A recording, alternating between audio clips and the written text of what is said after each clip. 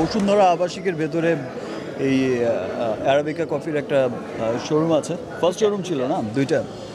তো ইতিমধ্যেই এই কফি হাউসটা কিন্তু অনেক জনপ্রিয় একটা কফি হাউস আর এটা হচ্ছে তার থার্ড শাখা।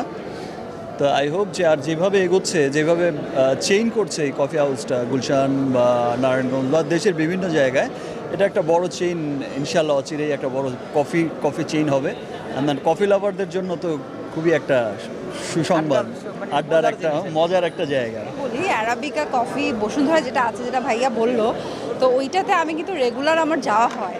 সো আমি বলতে গেলে যে রেগুলার লাইক কাস্টমার কারণ আমি সবসময় ওখানে মিটিং করি। আমার অনেক আমার যে কোনো মিটিং হলে আমি দেখা যায় আরবিকাতে বসে মিটিং করা হয়। তো সেখান থেকে আজকে যখন শুনলাম এটার আবার আরেকটা থার্ড একটা ওপেনিং হচ্ছে অবশ্যই তো ভালো লাগছে। কারণ এটা যত আস্তে আস্তে আরও বাড়বে তত আরও ভালো লাগবে।